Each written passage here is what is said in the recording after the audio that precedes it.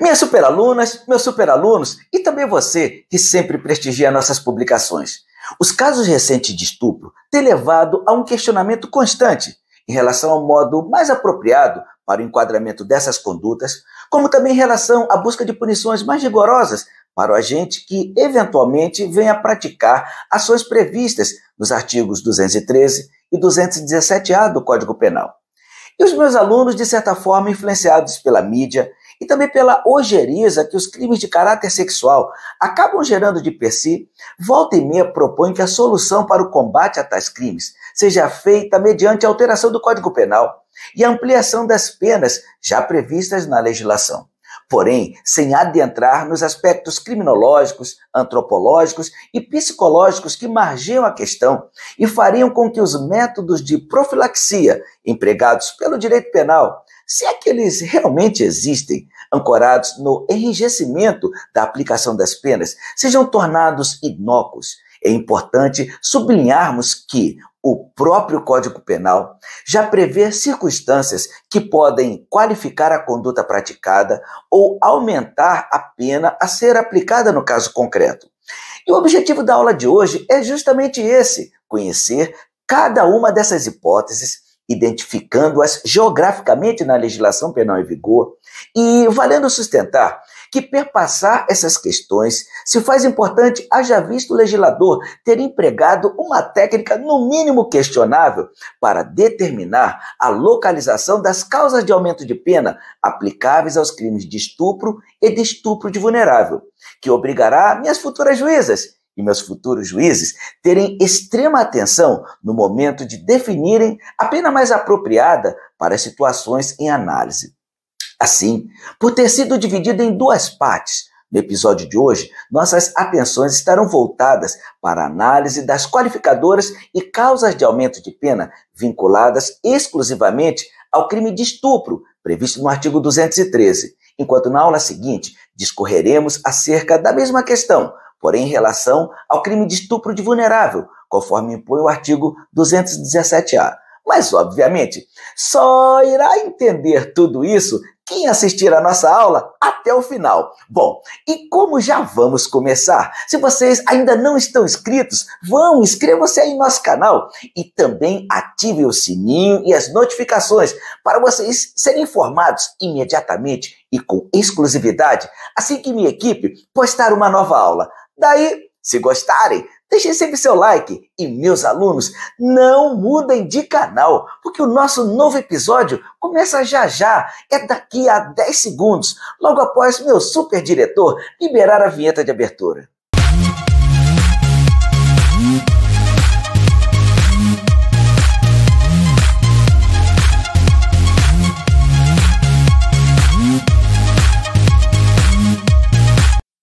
Então vamos lá. Como vocês já sabem, quando falamos do crime de estupro, estamos nos referindo ao tipo penal previsto no artigo 213, que já impõe, mesmo na modalidade básica, pena severa aos sujeitos ativos da conduta, quando observadas a partir do conjunto de tipos penais existentes no direito penal brasileiro e que já recebem penas superiores a oito anos. Assim, quando o legislador fixou a pena para o crime de estupro simples em reclusão de 6 a 10 anos, conforme o caput do artigo 213, com efeito, ele já coloca tais crimes em um patamar muito superior em relação à maioria das condutas tipificadas, diferentemente do que as pessoas em geral acabam imaginando, por não observarem a questão através de uma visão mais global. E na aula de hoje vamos avançar nessa questão, com o intuito de apresentar as demais hipóteses que fariam com que a pena de um estuprador possa ser ampliada, sem que haja necessidade de nova alteração na legislação penal, o que, a nosso ver,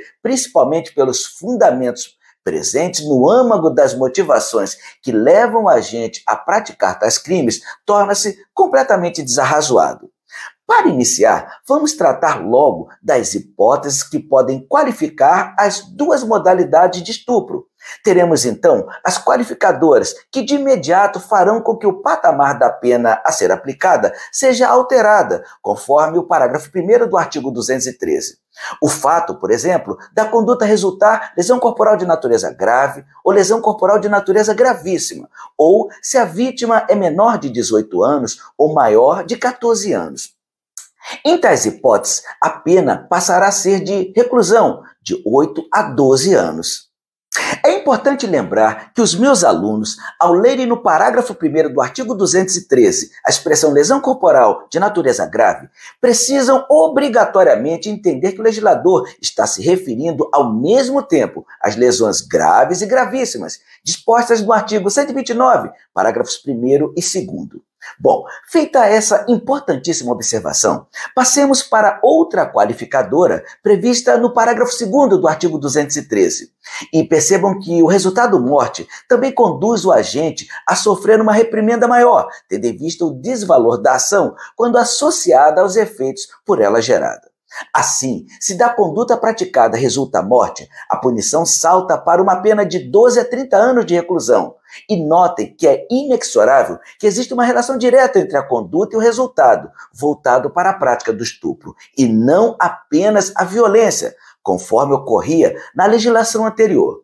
Isso porque, caso contrário, seria estabelecido o primeiro critério para que se pudesse falar em concurso material de crimes entre o crime de estupro e o crime de homicídio. Contudo, esse é assunto para tratarmos em uma outra aula. Mas, meus alunos, o enquadramento do agente em virtude das hipóteses qualificadoras é relativamente simples, o que gera certa dificuldade é quando os meus alunos, via de regra, acabam esquecendo que o legislador optou por agregar todas as causas de aumento de pena aplicáveis aos crimes contra a dignidade sexual em dois momentos distintos, ao invés de reuni-las nos próprios dispositivos, conforme Data Vênia recomenda a melhor técnica legislativa. Desta feita, ao proceder o enquadramento do agente que pratica o crime de estupro, vocês precisam estar atentos aos artigos 226 e 234A, uma vez que será neles que vocês encontrarão as causas de aumento de pena que poderão ser impostas. Daí, o artigo 226 prevê o aumento da pena aplicada da quarta parte se o crime é cometido em concurso de duas ou mais pessoas. Também prevê o aumento da metade se o agente é ascendente, padrasto ou madrasta tio, irmão, cônjuge, companheiro, tutor, curador, preceptor ou empregador da vítima, ou por qualquer outro título, tiver autoridade sobre ela. E ainda dispõe em seu inciso quarto que haverá aumento de pena que parte de um terço, podendo chegar a dois terços, se o crime é praticado nas hipóteses de estupro coletivo e estupro corretivo. Por fim, acrescente-se que também são aplicáveis as causas de aumento de pena